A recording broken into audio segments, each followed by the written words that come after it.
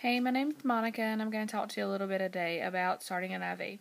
Starting an IV is, for me, is just another daily activity for being a nurse. You get your supplies.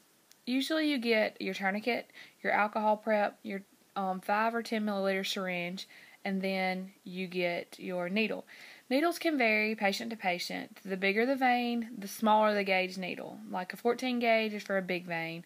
Um, and 18 to 20, 22 are smaller. The bigger the number, the smaller the needle. It's backwards, which some people have a little hard time realizing that, but once you figure that out, it's not bad. Um, but can every patient, like I said, is different. Um, you also what your syringe is for is to draw blood once you get your IV access in case you need any labs or anything.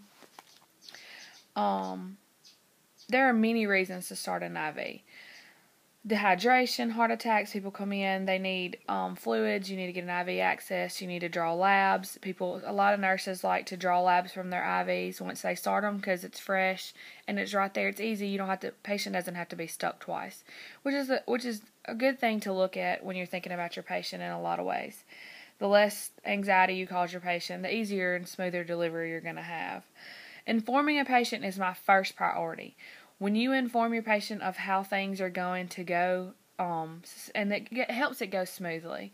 The steps of starting it, telling them, you know, everything you're going to do, and, you know, don't lie. If it's going to hurt, it's going to hurt. Explain to them that. Um, sometimes the veins, once you tie your tourniquet off, and they're really big and they look, we as we say, juicy, those are usually the hardest veins because they roll a lot and you have to kind of chase them down and get them stable to catch them. So that's just informing your patient about why it's why you're starting an IV, why um things are what's going to happen once you get the IV and you know drawing blood and everything. Having like I said, having a calm patient is makes for a really really smooth delivery. I love to start an IV. It can be a challenge or it can be really easy.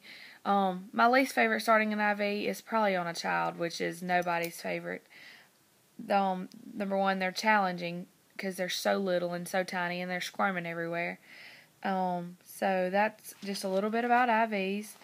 Once you get your IV in place, the your you need to tape it down. Taping it down is the biggest thing.